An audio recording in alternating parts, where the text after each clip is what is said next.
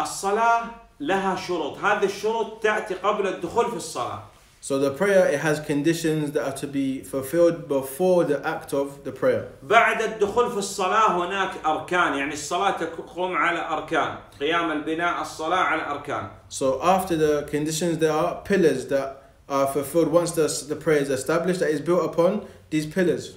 وواجبات And then there are obligatory factors. شروط الصلاة تسعة The conditions of the prayer are nine.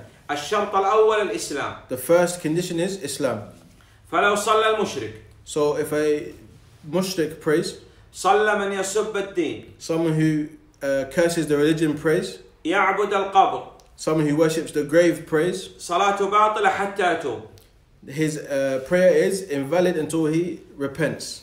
الثاني العقل فلو صلى المجنون فصلاته باطلة The second is sanity. So if a person who is insane prays, then his prayer is invalid. صلى السكران صلاته باطلة Someone who is drunk, if they pray, their prayer is invalid. يا نمنع ال- هذا الذي يسكر نمنع من شرب الخمر ونأمر بالصلاة So the one who is um, who drinks alcohol is prohibited from alcohol and he's commanded to pray. نعم الشرط الثالث The third condition. هذا الشرط التمييز التمييز غير البلوغ So the, this condition is the be able to specify between to distinguish between things. This Now- is not puberty. يعرف السؤال من الجواب He knows a question, can distinguish between a question and an answer. هذا الشرط وضع حتى نعرف صحة صلاة الصغير هل تصح أو لا This condition is for us to know if a person, for the a young person, if their prayer is correct or not. نعم إذا كان يميز يفرق بين الأشياء يعرف السؤال والجواب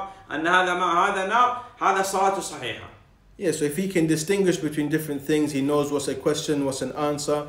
This person, their prayer is correct. وإذا كان لا يعرف السؤال من الجواب فالصلاة باطلة And if he doesn't know the difference between a question or an answer, he can't distinguish between things, then his prayer is invalid. نعم الرابع النية The fourth is the intention. النية محلها القلب والتلفظ بها بدعة The place of the intention is the heart, and to pronounce the intention is an innovation. توضأ في بيته ثم خرج إلى الصلاة وكبر لا يلزم أن تكون النية مع التكبير تكفي النية هذه الذي خرج بها من منزله والله أعلم So for a person to make wudu or perform ablution at their home and then leave their house to go and pray, they do not say the intention loudly or with their mouth when they make the first uh, takbir of the salah, as this was sufficient by the fact of them carrying out these actions.